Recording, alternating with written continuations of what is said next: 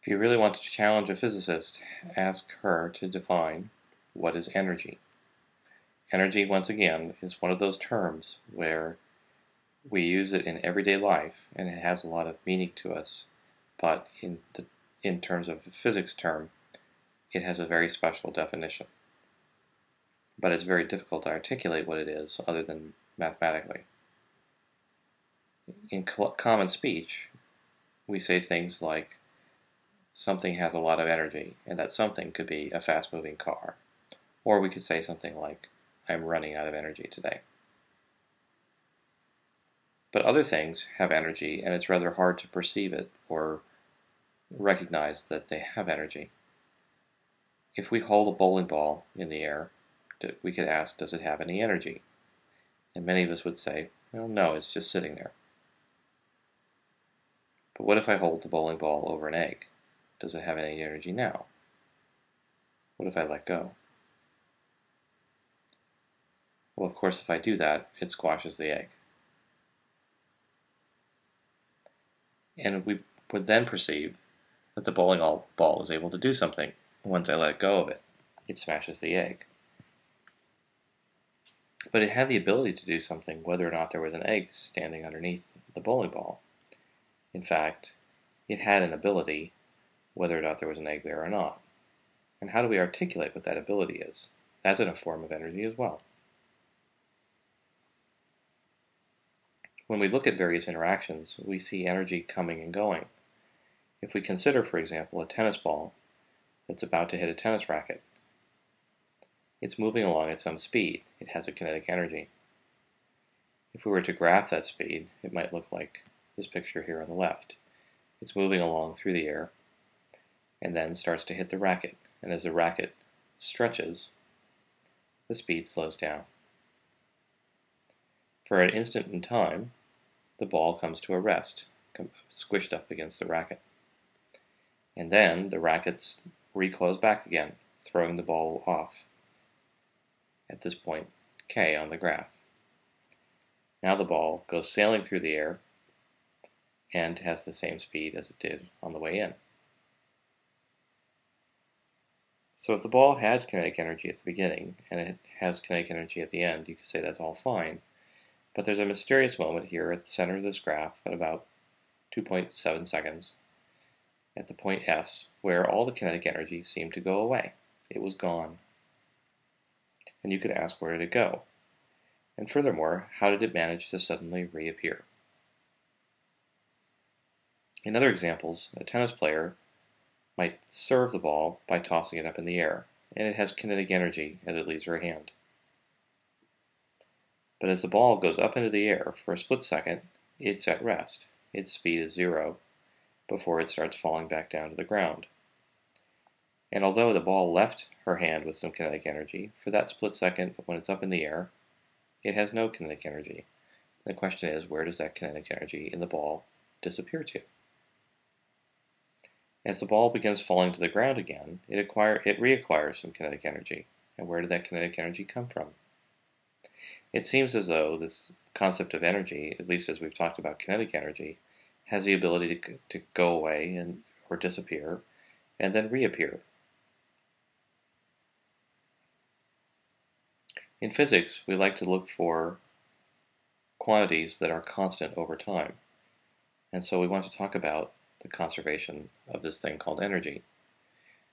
Since kinetic energy seems to come and go so quickly, it's probably it's probably the case that we need to think about a broader definition of energy that will be a quantity that an object possesses some of and has a constant amount of. Kinetic energy is a form of energy, but it can't be this broader definition of energy because it seems to be coming and going. And the question is, when it goes away, what does it go into?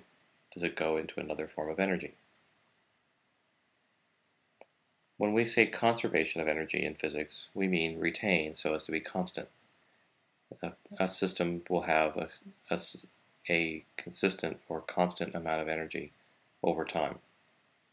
So we don't mean to stockpile and build up, as a conservationist would, but conserve in physics means have a constant value. We're going to define another kind of energy called potential energy. which can be another form of energy possessed by an object which gives it the potential to do something. And we'd like to use this new concept of potential energy, which we'll denote by a letter U, such that if we add it to the kinetic energy, then this will be a constant. Once we give an object an overall amount of energy, then it can trade form between back and forth between k and u, but its sum will be a constant number. Mathematically, this is the same statement as if we said that if we measured the kinetic and potential energy at some initial time, and then do it at a later final time, we should find that the initial kinetic energy plus the initial potential summed together equals the final kinetic energy plus the final potential. If we rearrange terms now and move all the kinetic energies to one side of this equation and the potential energies to the other side of the equation, we find kf minus ki equals the negative of uf minus ui, or the change in kinetic energy is the negative of the change in potential energy, where change means final minus initial. This statement helps us think to a definition for this new thing called the potential energy, because we remember that by the work energy theorem, the change in kinetic energy equals work. So if we're still looking or shopping for a definition for this thing called the potential energy, we can say that the change in potential energy is equal to the negative of the work done on a system. Let's take an example. Suppose I toss a ball with initial speed v naught up into the air. It will go up into the air by a distance h and momentarily stop, and then it will come back down to the ground. Initially, the ball, as it leaves my hand, has a kinetic energy 1 half m v naught squared. And initially, there it will not have any potential energy because of gravity will not have done any work yet on the ball. At the top of the arc here, the ball will come to a rest, and therefore the kinetic energy, kf, will equal zero the final potential energy, which will equal the negative of work done by gravity, will be the negative of the integral of zero, from 0 to h of minus mg dy, which equals mg times h. If we solve and we say that the energy of the system is constant, in other words, the initial kinetic energy plus the initial potential energy equals the final kinetic energy plus the final potential energy. Then we have that 1 half mv naught squared has to equal mgh. And this can be a simple way of solving problems because in this case we had only a kinetic energy to begin with and a potential energy at the end. And if we look at the, that expression, we can actually solve for how high the ball will go up in the air once we know at what speed we launched it, and we find that the speed, the height h, will equal v naught squared over 2g, which is actually an expression we derived in a much more complicated way using one-dimensional kinematics early on in the semester. But we were able to solve it more quickly using the concept of conservation of energy. And we'll seek many solutions to problems in the future where conservation of energy will solve a, uh, will solve a problem more quickly and with fewer steps than we would with kinematics and Newton's laws.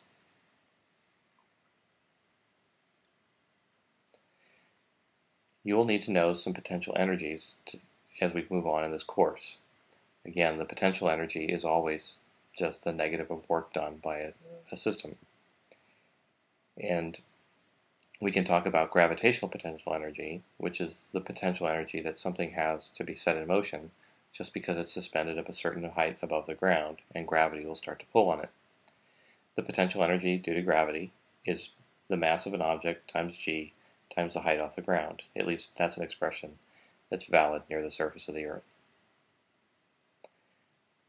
The spring force also can create potential energy because the spring force can do work on a system and the negative of that work will equal the potential energy.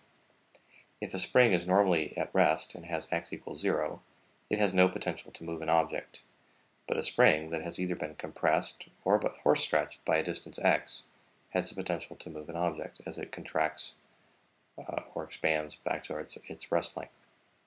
The potential energy stored in the spring will be the negative of work done, and that will equal 1 half kx squared. These are two expressions that you should endeavor to remember. We'll practice using these, and we'll talk about other forms of potential energy as well, but here's where we'll start, and we'll try to do conservation of energy problems, where kinetic energy transforms into potential energy, and vice versa.